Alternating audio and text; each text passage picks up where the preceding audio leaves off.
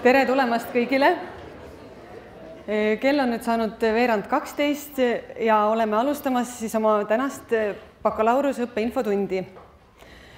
minu nimi on Merit ja tegelen Tallinna Ülikoolis vastuvõtuga. ma panen selle muusika veel vaiksemaks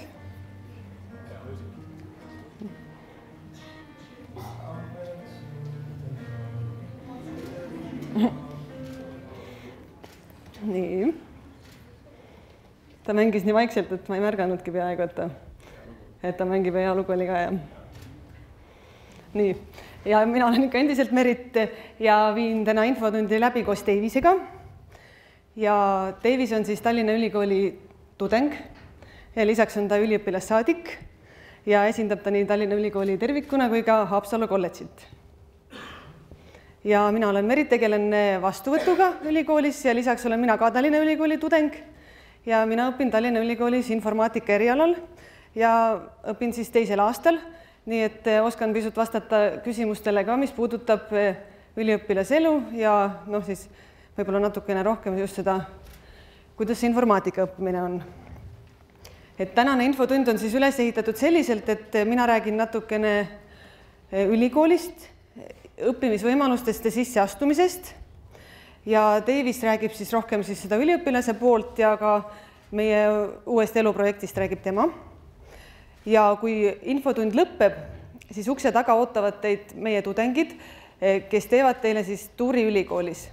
et see tuuri situatsioon näeb välja selline, et kui infotund lõpeb, siis te hakkate uksest välja minema ja kui tuleb piisavalt suur grupp rahvast uksest välja tuleb siis tuuri juhataja, üks tudeng teile, teiega kaasa ja lähete tuurile ja siis järgmine seltskond jälle tuurile. et eh, kindlasti kõik saavad kaasa ja, ja et siis järjest lähetegi niimoodi. aga alustame siis. nii, kas keegi teab, et kui palju on Tallinna Ülikoolis üliõpilasi? noh, umbes, oskab keegi pakkuda?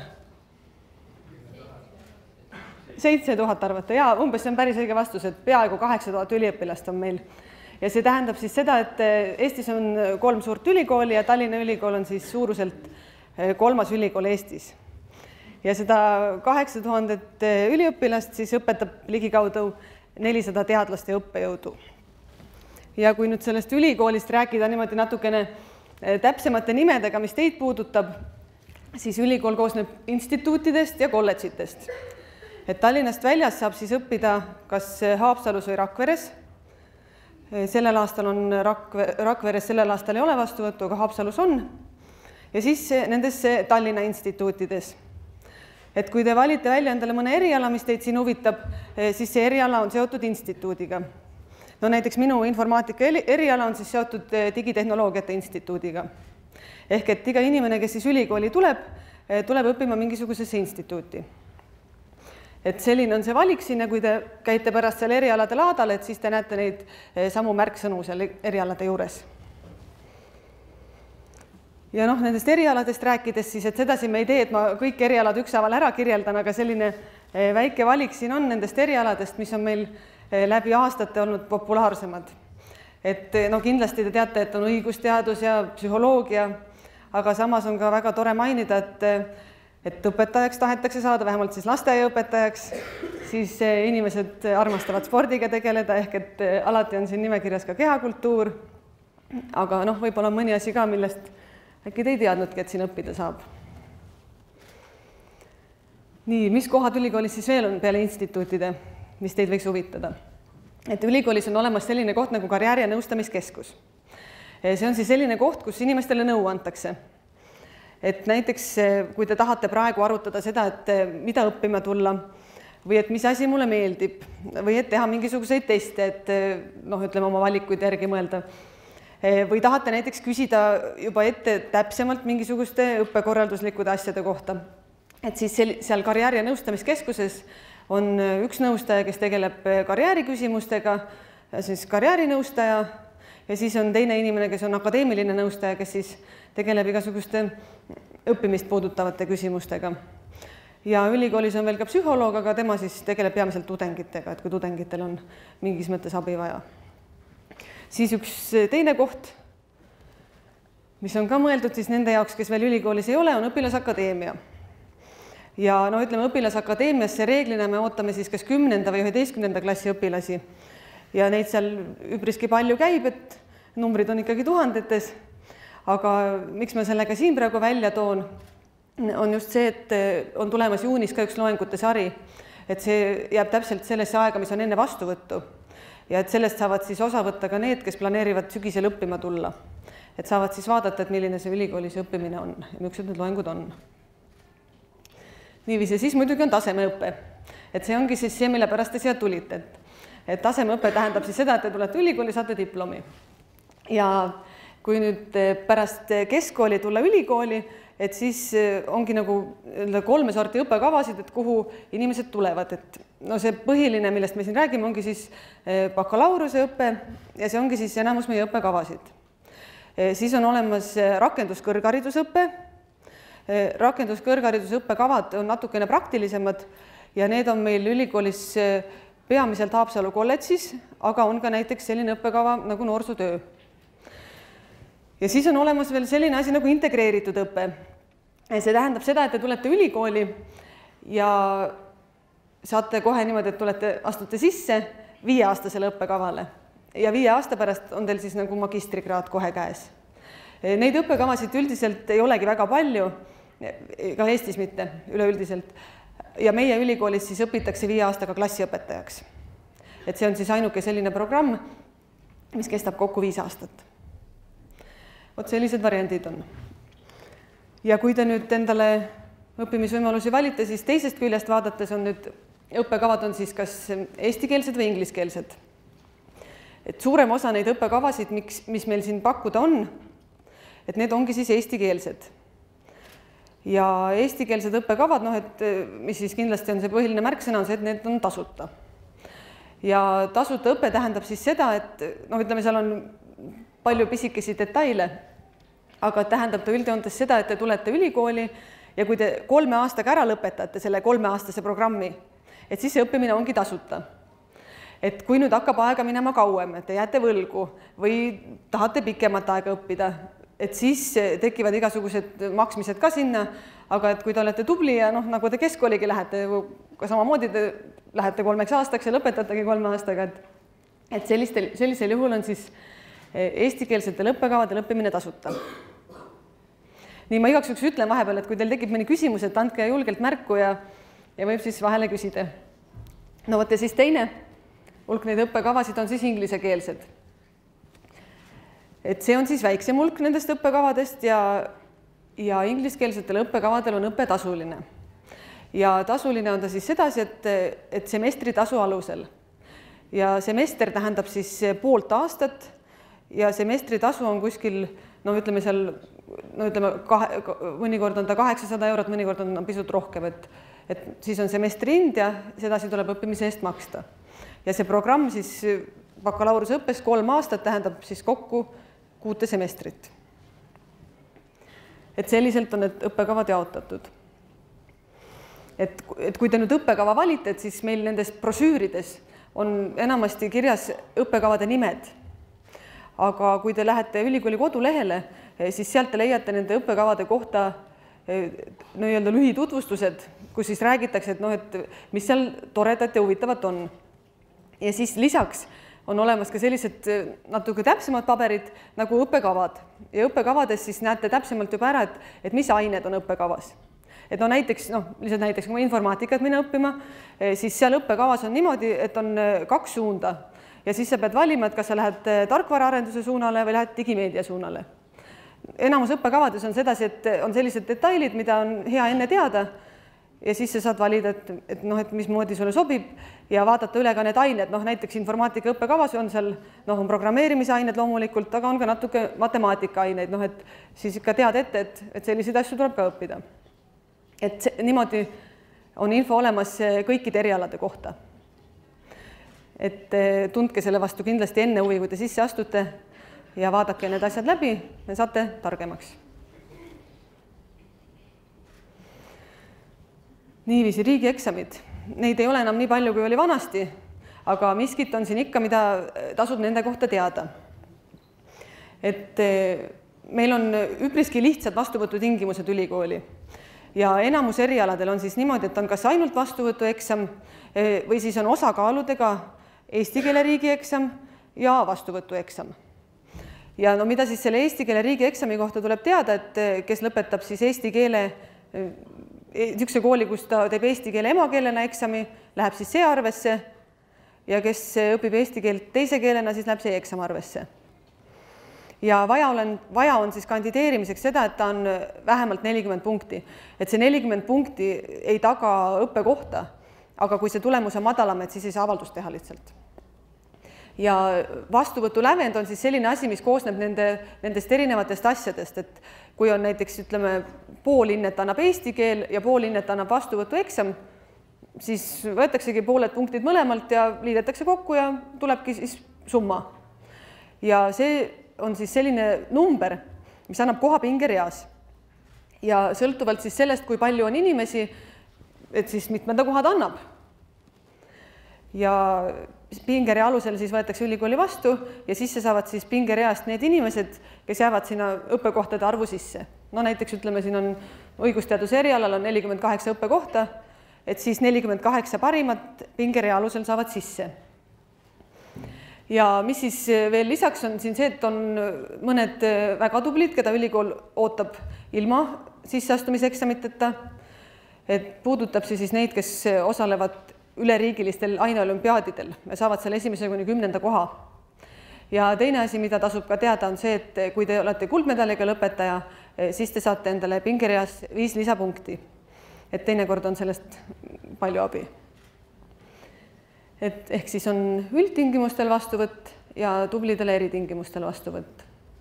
ja siis on veel see ka, et kui on riigieksamite tulemused on hästi kõrged, et siis on ka eritingimustel vastuvõtt ja mis riigieksameid me vaatame, me vaatame siis eesti keelt, mis peab olema üheksakümmend punkti ja matemaatikat eh, sõltuvalt kas siis lai või kitsas siis vastavalt kas seitsekümmend neli või üheksakümmend punkti.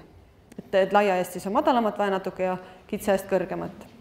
et siis on ka suurem osa eestikeelseid erialasi, kuhu saab tulla ilma vastuvõtueksamita.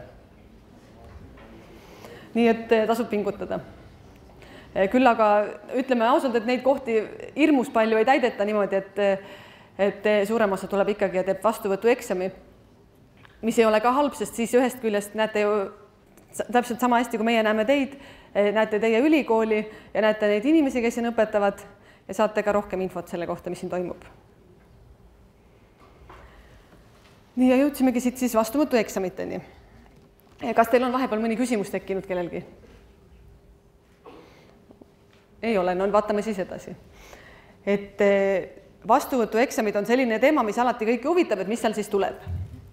et on üks hulk erialasi, kus ei öelda üldse, mis tuleb, öeldakse niimoodi, et tulge kohale, võtke pastapliiats kaasa ja küll te siis näete, mis tuleb. et on niimoodi nii, niipidi kõigile võrdne. ja siis on teine osa erialasid, kus on niimoodi, et antakse ette mõni asi, et, et kas lugege mõni raamat läbi eh, või näiteks eh, valmistage kodus ette essee või siis öeldakse, et tutvuge, tutvuge mõne ainealase asjaga või et olge kursis äh, erialaste päevauudistega. Ja antakse kõigile siis võimalus ennast äh, viia vajalikude teemadega kurssi ja siis tulla, et kes siis paremini seda teeb, et sellel on siis eksamil teatav eelis. ja seda eksamite infot me natuke muudame iga aasta. Ja seoses sellega me seda siis ka uuesti instituutidest kogume ja kui me selle info kokku kogume, siis kuskil mai alguseks, noh, tegelikult ma isegi arvan, et aprilli lõpuks me paneme selle kodulehele ja siis te saate lugeda sealt, et mis erialadel on ette antud, et et mis, mis on võimalik ette valmistada ja mis erialadel siis tuleb lihtsalt kohale tulla ja, ja seda eksamit seal tegema hakata. ja noh, ütleme, et kui suuline osa on, siis kindlasti seal annab eelise see, kui te teate, mis asja te õppima tulete ja oskate siis võib-olla põhjendada ka, et miks te selle valiku olete teinud et nii palju siis vastuvõtueksamitest. nii mõned kuupäevad ka. et vastuvõtt algab siis pärast jaanipäeva ja algab siis sellega, et tuleb esitada avaldus. ja noh, miks siis tuleb avaldus esitada, et see on siis nagu selle jaoks, et põhimõtteliselt ennast eksamile registreerida. et siis ülikool näeb, et kui palju on huvilisi ja teie siis panete enda, ennast kirja, et te tahate tulla vastuvõtueksamit tegema ja see koht, kus esitatakse avaldusi, on SAIS, SAISist ma räägin ka mõne sõnaga. ja avaldust saab siis ülikooli teha kahele erialale. ja on see siis niimoodi, et valite välja, kuhu te teete, kui selle aja jooksul ümber mõtlete, siis võite avalduse ära kustutada ja teise eriala valida. aga et neljandaks juuliks on siis need avaldused koos ja siis pärast seda vaatame need siin üle ja algab sisseastumiseksamite periood. Ja selle nädala jooksul, seitse kuni kaksteist juuli, on eksamid kõigile erialadele. et kõik jäävad sinna ajavahemikku, et kui te oma reise planeerite, et siis saate arvestada, et, et seal olete siis Eestis ja teete siin eksameid. ja on üks selline kuupäev nagu neliteist juuli. sellel päeval siis aval, avalikustavad kõik suuremad Eesti ülikoolid oma kõrghariduse esimese astme vastuvõtunimekirjad. Ehk et siis need inimesed, kes saavad õppekoha või kes noh, pingereas on siis nende õppekohtade hulgas, saavad siis oma teate neljateistkümnendal juulil. ja meil on siis niimoodi, et kolm päeva on aega see õppekoht kas vastu võtta või seda mitte vastu võtta. ja siis kolme päeva pärast, kes võttis koha vastu, see siis puhkab septembri alguseni ja kes siis loobus, siis need, kes seal joone all kohe esimesed olid, et nendel on siis järgmisena võimalus et kui jääte täpselt joone alla alguses, et siis reeglina natuke need pingeread ikka liiguvad ja tavaliselt need esimesed joonealused ikkagi saavad õppekohad ka. et selline on siis vastuvõtu ajakava, et siis mõned kuupäevad võib-olla tasub siit meelde jätta, et midagi maha ei magaks. ja siis see koht, kus neid avaldusi tehakse, on SAIS. et SAIS on siis lühend väljendist sisseastumise infosüsteem ja mida on SAIS-i puhul siis hea teada, et SAIS-i saab siis esitada avaldusi kõikidesse ülikoolidesse, Eesti ülikoolidesse. ja kui SAIS-is avaldust teha, siis peab olema olemas mobiil-ID või ID-kaart ja PIN-koodid ka. et ikka juhtub, et neid pole, aga parem oleks, kui nad oleks, sest siis saate ilusti kodus oma avaldusi teha, ei pea kuskile eh, kohale tulema ja eh, igal pool käima selliste asjade pärast, mida on väga lihtne kodus teha aga noh, kui neid ei ole või midagi ära kaob, et eks siis eh, tuleb ülikooli koha peale tulla ja saame avalduse ikkagi siin ära esitada. et sai siis, siis näete, mis konkursid on, kuhu avaldusi esitada saab. ja need kaks avaldust seal esitataksegi. et selline on siis selline, selline ametlikum pool sellest ülikoolis õppimisest aga elu siis ühesõnaga ma ütlen veel omalt poolt nii palju juurde, et see on selline asi, mis on aine ülikooli õppekavades ja see on aine kõikides õppekavades. ja see tähendab jah, seda siis, et noh, kas teid just, see oli väga hea piltlik näide, et pannakse auditooriumisse ja moodustatakse grupid, aga tegelikult on sellised ideelaadad ja on niisugused noh, spontaansed gruppide moodustamised ka, et muudel, muudel alustel siis. aga mõte ongi jah, selles, et erinevate erialade inimesed saavad kokku ja panevad siis igaüks sealt oma valdkonnast need parimad teadmised mängu et ühiselt midagi eh, kihvti ja asjalikku teha, millest maailmale kasu on. et selline aine on meil õppekavades. ja siis juba oli, käis ka see välismaal õppimine meil siis läbi, et, et seda võimalust eh, on. see võimalus on reeglina seo-, seostatav sõnaga Erasmus ja ülikoolil on siis meie ülikoolil on siis päris palju partnerülikoole ja see, kuhu riiki te saate minna ja mis ülikooli, eh, sõltub siis paljust sellest, et mis eriala te valite siin õppimiseks.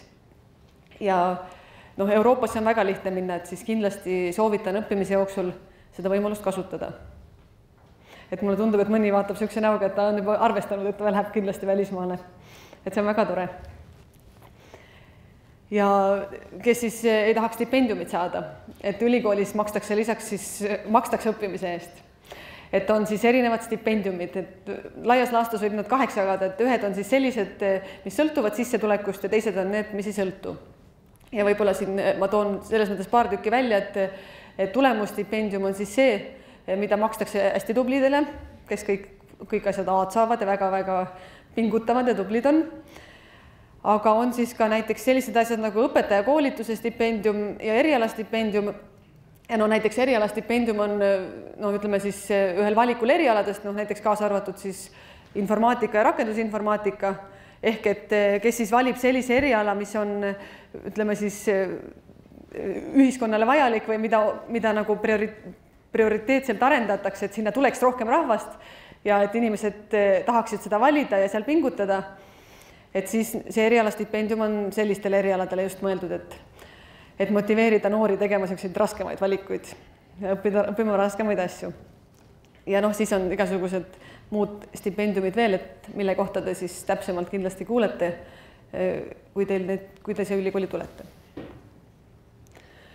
nii, ja meie linnak, no linnakuga on see lugu, et te olete siin ja te näete seda linnakut, et ta on ühest küljest on ta suur ja teisest küljest on ta selline moodne ja mis ma enda, noh, enda kogemusest tooksin välja, et minu arust meil on väga kihvt raamatukogu. et see raamatukogu on siinsamas meie pea kohal läbi kolme korruse ja mis on no minu jaoks näiteks täiesti üllatus on see, et raamatukogus on niisugused ruumid, et sa nagu lähedki lihtsalt internetti ja broneerid endale või oma rühmale noh, näiteks mingi viiekesi tahate teha midagi, lihtsalt paned ruumi kinni, seal on arvuti, seal on toolid, lauad, värgid ja sul ongi nagu oma mingi noh, nagu kabinet, et teete seal rahulikult oma asju ja, ja see võimalus on kõigil üliõpilastel olemas. ja noh, raamatud muidugi ja kõik see muu seal. et selline, selline asi, mis ma lihtsalt tooksin siin välja aga noh, linnaku poole pealt veel nii, et need majad siis, mida te siin tuuri peal ka näete, et need on siin meil slaidide peal ka kirjas.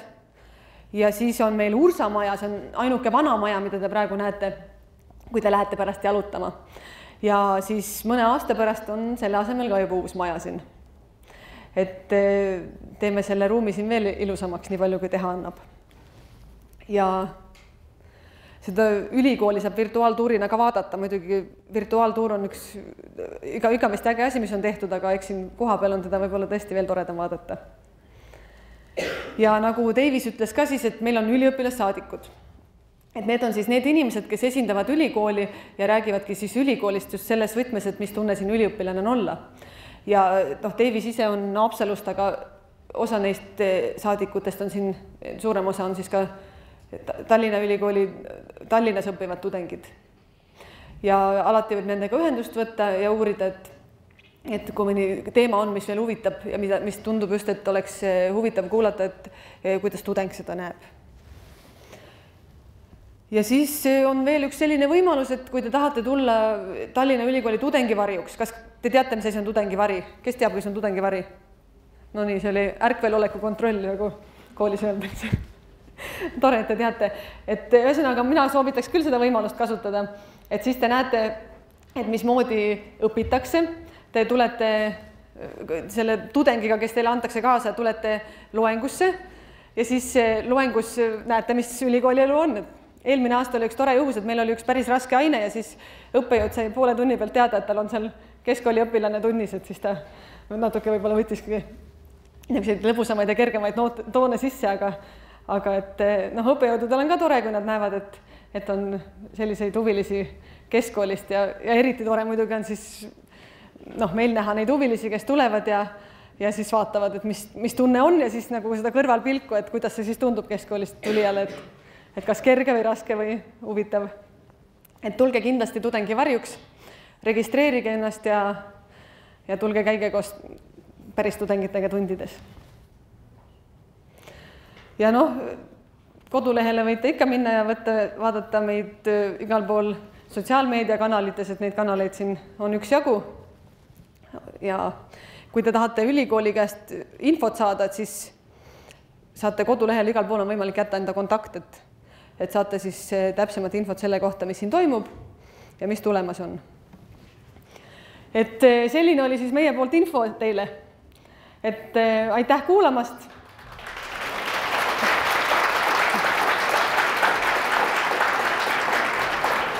ja nüüd on see koht, kus te lähete uksest välja tuurile ja kes tahab küsimusi tulla küsima, et, et meie jääme nüüd siia, et just nende jaoks, kes ei taha üle saali küsida